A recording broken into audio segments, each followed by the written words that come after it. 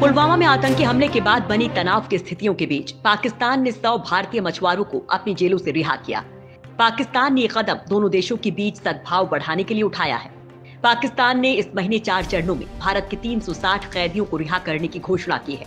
रिहाई के बाद कड़ी सुरक्षा के बीच सौ भारतीय मछुआरों का जत्था कराची कंटोनमेंट रेलवे स्टेशन पहुँचा, जहाँ से अल्लामा इकबाल एक्सप्रेस से इन रिहा मछुआरों को लाहौर लाया गया। नज़दीक स्थित बाघा सीमा पर इन मछुआरों को भारतीय अधिकारियों को हवाले कर दिया गया। ये मछुआरे समुद्र में मछली मारते हुए पाकिस्तानी जल सीमा में पहुँच गए थे। वहाँ उन्हें पाकिस्तानी सुरक्षा बलों ने गिरफ़्तार कर लिया था। पाकिस्तान के गैर लाभकारी समाज कल्याण संगठन ईदी फाउंडेशन ने रिहा हुए मछुआरों को यात्रा खर्च और उपहार इत्यादि भी दिए हैं। विदेश मंत्रालय के प्रवक्ता मोहम्मद फैसल ने इस्लामाबाद में मीडिया से कहा था कि हम इसे सद्भावना के तहत कर रहे हैं और आशा है कि भारत भी इसी तरह का कदम उठाएगा।